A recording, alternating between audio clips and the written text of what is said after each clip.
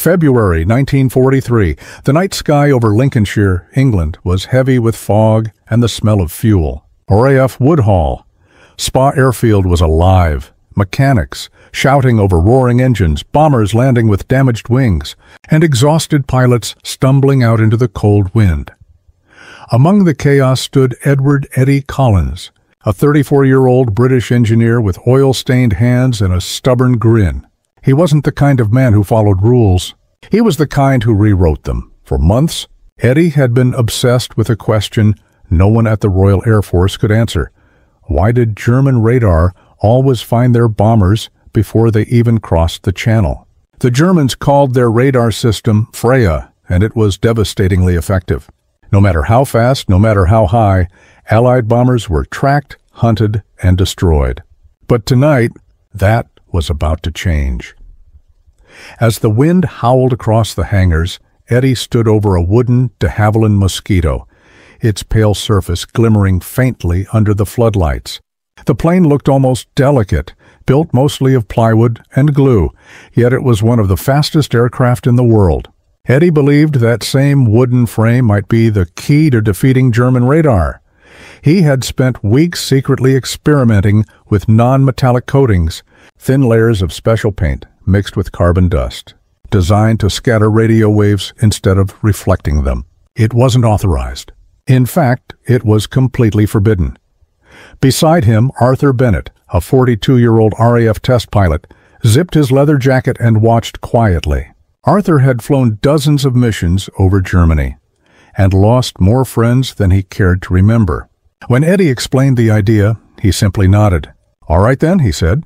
Let's see if your ghost trick really works. The two men worked in silence as they rolled the modified Mosquito toward the edge of the airstrip. Snow flurries drifted down, melting on the warm exhausts. The propellers began to spin, slicing through the mist. Inside the dimly lit control tower, a radar operator turned his scope toward the departing plane. Usually the mosquito would appear as a bright green blip on the screen, clear, strong, impossible to miss. But tonight, the screen stayed almost empty.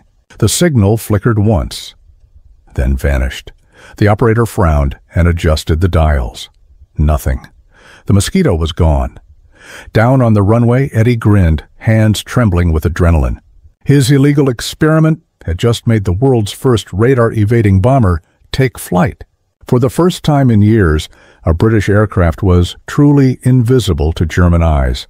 And in that moment, as the faint roar of the mosquito disappeared into the night, one thing became clear. The age of the ghost plane had begun. The next morning, the hangar was silent. The usual laughter of ground crews was gone, replaced by whispers. Everyone had heard the rumor. A mosquito had vanished from radar. Not crashed, not shot down, just vanished. Edward Collins, the rogue engineer behind it all, hadn't slept. He sat on a wooden crate, rubbing his eyes, waiting for the inevitable summons from command. He knew what was coming. When you break Royal Air Force regulations, someone always notices. Sure enough, the heavy boots of Group Captain Thomas Wilkes echoed through the hangar. Wilkes, mid-fifties, sharp jaw, silver hair, always immaculate in uniform, was known for his zero-tolerance approach. He stopped in front of Eddie, hands clasped behind his back. Collins, he said quietly. I hear you've been painting aircraft without permission. Eddie hesitated. Sir, it wasn't just paint. It was... Wilkes cut him off. You tampered with an operational bomber. That's court-martial material. But then, Wilkes's tone softened. And yet, German radar never saw it, did they? Eddie didn't answer. He didn't have to. Wilkes glanced toward the mosquito sitting on the runway, its pale skin gleaming like frost. He lowered his voice. We're flying it again, tonight, over the coast. Full reconnaissance sweep, you'll ride along. That night, under a moon half hidden by clouds, the modified Mosquito was rolled out once more. Arthur Bennett, the test pilot, fastened his flight helmet, his face set in quiet determination. Eddie climbed in beside him, notebook in hand, heart racing. The twin Merlin engines roared to life and the aircraft surged forward into the dark. Within minutes, they were above the North Sea, skimming the edge of German radar coverage. Eddie watched the altimeter and the trembling needles, his mind buzzing. Back at the Luftwaffe radar station on the French coast, German operators leaned over their scopes. They saw dozens of blips, but not the mosquito. It was invisible again. Inside the cockpit, Arthur glanced over his shoulder. Still nothing? he asked. Eddie grinned. Nothing. We're ghosts, Arthur. They can't see us. The mosquito slipped deep into enemy territory, cameras clicking silently below. They flew over coastal defenses, over searchlights that swept empty skies, over gun emplacements whose crews stared into the night, unaware that a British bomber was photographing everything above their heads. By dawn, the mosquito was back in England. The film canisters they carried revealed perfect, crisp images of German positions, taken from the heart of enemy territory, without a single alarm being raised. As the sun broke over the horizon, Group Captain Wilkes stepped out of the operations hut, watching the mosquito taxi to a halt. He didn't smile, but his voice carried a hint of awe. Congratulations, Collins, he said. You may have just changed air warfare forever. Eddie exhaled slowly, finally realizing the weight of what they'd done. The experiment that started in secret had become something far greater, a weapon of invisibility. And somewhere across the channel, German radar crews would spend the day staring at their empty screens, wondering how the British had made a bomber disappear. Within days, whispers spread through the Luftwaffe. Radar stations along the French coast were reporting the same strange phenomenon, brief flickers on their screens, followed by nothing. No return signal, no confirmation. It was as if some aircraft were simply flying through the waves of their radar, like ghosts. At Luftwaffe Command Paris, General Otto Drexler, a 49-year-old officer with sharp blue eyes and a temper to match, studied a stack of reports. Every one of them told the same story. Radar contact lost. Aircraft invisible. He slammed a hand on the desk. Nothing disappears from Freya, nothing. But something had. Meanwhile, across the channel, inside the research hangar at RAF Woodhall Spa, Edward Collins and his small team were running out of supplies. And time. Their paint mixture was improvised, their tests unofficial, and their results classified above top secret. They had proven it worked. But now they needed to perfect it. Arthur Bennett, the test pilot, leaned against the wing of the Mosquito, arms crossed. You realize what happens if the Germans figure out how we did this? Eddie nodded.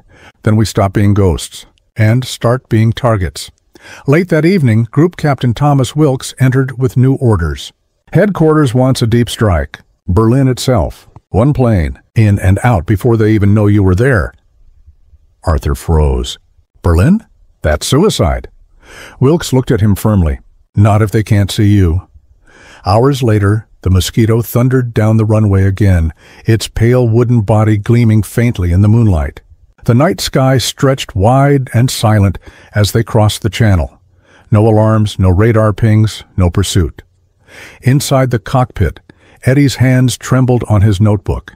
Arthur flew low, threading between clouds, his voice steady over the intercom. Altitude holding. Berlin in 40 minutes. Eddie smiled nervously and still no sign of German radar. But deep in France, one radar station finally caught a flicker, just for a second. A blip appeared, then vanished. The German operators leaned in. Ein Geistflugzeug? One muttered. A ghost plane? By the time they sent the warning, it was already too late. The mosquito was over Berlin, cameras clicking, instruments humming, utterly unseen. They flew so close that Eddie could see the faint orange glow of streetlights far below.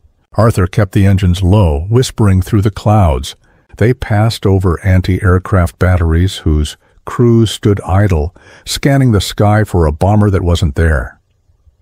When the Mosquito finally turned back toward England, the mission had lasted just two hours. No one had fired a shot. No one had sounded an alarm. At dawn, the photographs lay spread across the operations table crystal clear images of the German capital.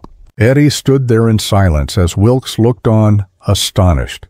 Berlin, the captain murmured. And they never saw a thing. Eddie smiled faintly. Maybe that's the point, sir, he said. If they can't see us, they can't stop us. By March 1943, the German High Command was desperate. Reports from radar outposts were becoming impossible to ignore. Blips were appearing and vanishing mid-flight. Reconnaissance photos were emerging from cities that had never been bombed. And Luftwaffe patrols were chasing empty skies. Inside a dimly lit control room in Brest, General Otto Drexler stood before a giant radar display. Technicians were arguing in panic. Sir, the British planes. They disappear when they approach the coast. Drexler clenched his jaw. Impossible. Radar doesn't lie. But the truth was written across the empty screens. Radar had met its first true enemy, silence. Meanwhile, back at RAF Woodhall Spa, Edward Eddie Collins and test pilot Arthur Bennett were being hailed as heroes, though only in whispers. Their work was now a classified project under the code name Operation Ghostlight. Eddie's illegal paint formula was no longer a secret. It was being mass-produced, tested on dozens of mosquitoes. Inside the workshop, Eddie wiped grease from his hands as Arthur stepped in, holding a folded telegram. They want us to train a new team, Arthur said. High Command's making this official. Eddie raised an eyebrow. Official? The same people who wanted to court-martial me a month ago? Arthur chuckled. Seems ghosts are more useful than prisoners, but the success came with a cost. Every mission they flew deeper into German territory, the risk grew the Luftwaffe began experimenting with new detection methods, infrared, acoustic sensors, even searchlights triggered by sound. They called it Jagd auf den Geist, the hunt for the ghost. One night in April, a mosquito squadron flying near Bremen reported strange new tracking lights sweeping the sky. One aircraft didn't make it back. Arthur stared at the map in silence. They're learning, he muttered. Eddie nodded grimly. Then we'll have to stay one step ahead. The following months became a race between innovation and discovery. British engineers refined the stealth coating, reducing the radar reflection even further. The Mosquito evolved into something almost supernatural, fast, silent, and invisible. It was no longer just a bomber. It was a message to the world. Intelligence and creativity could outfight brute power. By late 1944, the Mosquito was flying missions straight into the heart of Nazi Germany, often returning without a single bullet hole. German officers, baffled and humiliated, began calling it Der unsichtbare Tod, the invisible death. When the war finally ended, thousands of missions had been flown under the cover of that wooden miracle. Not one enemy radar operator ever truly understood how. Years later, Edward Collins would walk through the abandoned hangars of Woodhall Spa, the floor still stained with oil and ghostly silence. He would pause beside an old mosquito fuselage, its pale wooden frame faded but intact. He smiled quietly and whispered, You were never supposed to exist. But you changed everything. The camera slowly pans upward, toward the cloudy English sky. A faint engine hum echoes in the distance, fading into nothing. Narrator, final line. They called it a ghost. But it was never a legend. It was proof that even in war the mind can make miracles.